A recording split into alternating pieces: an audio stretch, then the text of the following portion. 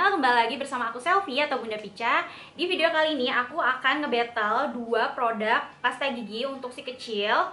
Jadi di samping aku udah ada dua merek pasta gigi yang akan aku rekomendasikan. Dan keduanya sudah memenuhi standar pasta gigi yang baik menurut para pakar gigi dan dokter gigi. Yang pertama yaitu sudah berfluoride dan juga tidak mengandung SLS ataupun bahan-bahan berbahaya Sebelumnya aku udah pernah juga nge-review nge-battle juga 5 merek pasta gigi ini yang part satunya. Ini juga semuanya sudah berfluoride dan juga uh, bagus juga. Cuman memang ada beberapa yang uh, tidak ada klaim no SLS. Perlu diingat ya Bun, dalam kriteria memilih pasta gigi itu dipastikan kalau pasta gigi si kecil itu berfluoride. Fluoride itu aman banget untuk si kecil, malah bener-bener direkomendasikan oleh para dokter gigi atau pakar gigi. Makanya aku mau battle lagi pasta gigi yang memang bener benar-benar direkomendasikan oleh dokter gigi kita dan juga sudah memenuhi syarat tadi. Yang pertama itu dari brandnya Enzim, lalu yang kedua dari Jordan. Oke, sebelum aku battle dan review keduanya, jangan lupa untuk subscribe dulu channel Bunda Pica dan juga nyalain tombol loncengnya supaya nggak ketinggalan di video review, battle, rekomendasi, tips parenting lainnya.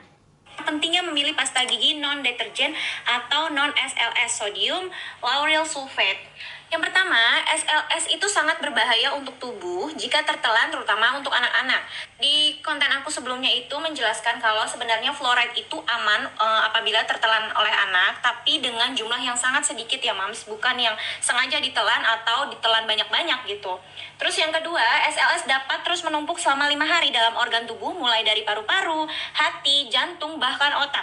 Sedangkan sejak anak tumbuh gigi pertama disarankan dokter gigi untuk menyikat gigi dengan pasta gigi. Dan selain itu, menjaga kesehatan gigi anak juga faktor penting dalam pertumbuhan dan kesehatan tubuh anak. Gigi membantu proses pengunyahan pada anak sehingga kebutuhan nutrisi dalam tumbuh kembangnya dapat terpenuhi.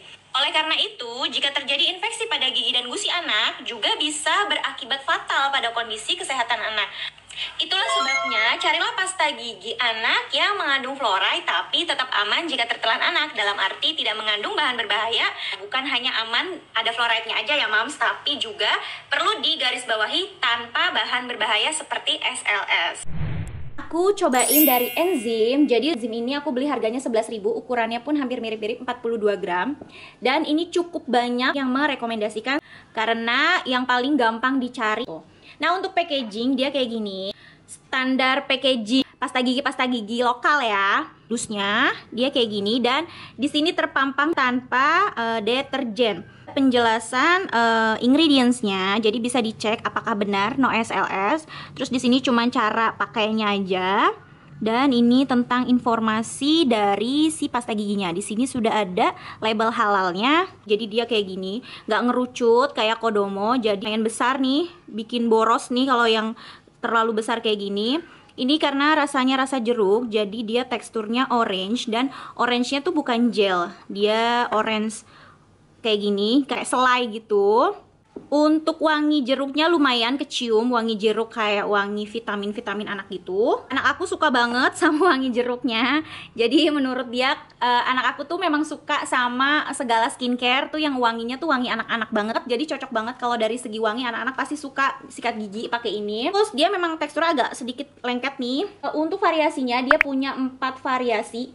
Dia punya rasa orange, strawberry, bubblegum, dan juga tutti frutti. Nah uh, bubblegumnya juga cukup unik ya.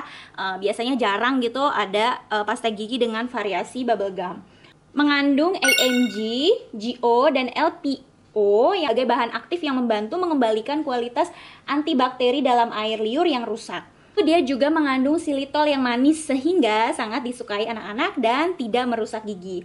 Untuk klaimnya juga enzim ini food grade dan tadi dia tidak mengandung deterjen, nih jelas banget atau SLS sehingga aman dan tidak mengakibatkan kerusakan gigi atau jaringan lunak dalam rongga mulut. Untuk efek dipakainya cukup baik ya, cukup bagus. Dia juga minim banget busa.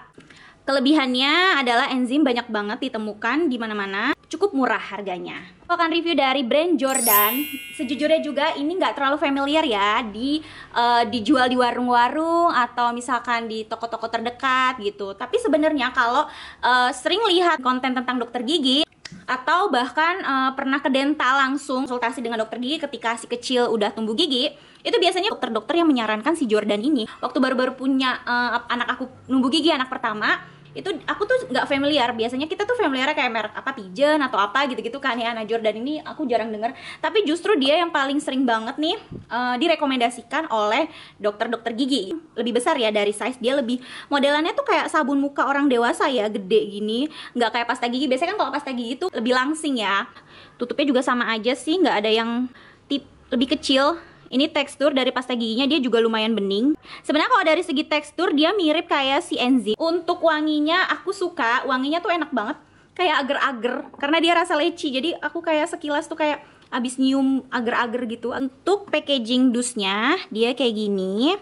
Lucu ya, uh, warnanya tuh kayak unicorn-unicorn gitu, terus pinknya pink soft gitu, cantik sih. Terus di sini ada uh, informasinya, gentle, formula, original, excellent, dan di sini ada ingredientsnya juga ya. Dan ini ternyata adalah barang impor ya. Jordan ini bukan produk lokal kayak enzim. Ini dia tertulis uh, ada pomnya dari negara mana nih? Di sini tertulis juga ya, Skandinavian. Ini dia punya variasi step by step ya. Jadi ini uh, karena Pica masih 4 tahun, jadi aku kasih yang ini step 1 untuk 0 sampai 5 tahun. Dan untuk step 1 itu dia ada variasi rasa stroberi dan juga rasa leci. Ini yang cobain yang leci. Terus untuk step 2-nya itu dia untuk anak-anak usia 6 sampai 12 tahun. Rasanya ada rasa anggur dan juga rasa apel. Jadi masing-masing tuh rasanya berbeda ya setiap step by stepnya. Terus untuk klaimnya dia sudah BPOM yang tadi. Terus e, mempertahankan gigi dan gusi tetap sehat, mengandung bahan alami, aman untuk bayi dengan bahan yang berkualitas, dikembangkan dengan teknologi modern di Malaysia. Untuk efek dipakainya pun sama, e, minim busa. Anakku juga suka wanginya karena wangi lagi-lagi. Oke, okay, aku akan kasih kesimpulan dari segi harga yang paling murah tentu si enzim ya. Kalau yang lebih mahal itu si Jordan. Uh, wajar kalau si Jordan ini memang lebih mahal karena dia juga uh, adalah produk impor. Terus kalau misalkan dari segi packaging, menurut aku nggak ada yang unik sih, uh, cuman beda di size-nya aja. Karena aku lebih suka atau lebih membutuhkan packaging yang tuangnya ini uh, tutupnya ini nih lebih runcing gitu. Jadi biar nggak terlalu kebanyakan kalau kita nuang teh giginya. Jadi takarannya pun uh, bisa sedikit-sedikit kan. Kalau anak kecil kan soalnya takarannya itu uh, memang lebih sedikit ya, Mams. Jadi kalau pakai yang terlalu lebar kayak gini ujungnya jadi khawatir suka kebanyakan. Kalau dari varian rasa menurut aku keduanya mirip-mirip uh, juga, tapi memang memiliki keunikan masing-masing. Jordan ini contohnya dia punya rasa yang unik yaitu rasa leci. Begitupun si enzim ini juga dia punya variasi rasa bubble gum atau permen karet yang mana ini juga cukup jarang ada di uh, rasa pasta gigi yang lain. Kalau mau yang mudah dicari, tentu si enzim karena enzim ini juga lumayan sering ada di toko-toko terdekat atau uh, minimarket. Kalau si Jordan ini kayaknya harus beli uh, di supermarket atau di toko-toko besar atau juga di online. Kalau untuk uh, favorit, balik lagi terserah si kecilnya dia lebih suka yang mana. Uh, tapi yang lebih uh, sering direkomendasikan oleh para dokter dan pakar-pakar uh, gigi itu memang kebanyakan seringnya merekomendasikan si Jordan ini. Oke, okay, sekian perbetolan pasta gigi dari aku. Semoga bermanfaat untuk mami-mami semua yang lagi memilih pasta gigi yang terbaik untuk si kecil atau buat si kecil yang baru tumbuh gigi bahkan. Nah, Mams bisa cobain pasta gigi yang baru aku rekomendasikan ini. Semoga bermanfaat. Terima kasih yang sudah menonton.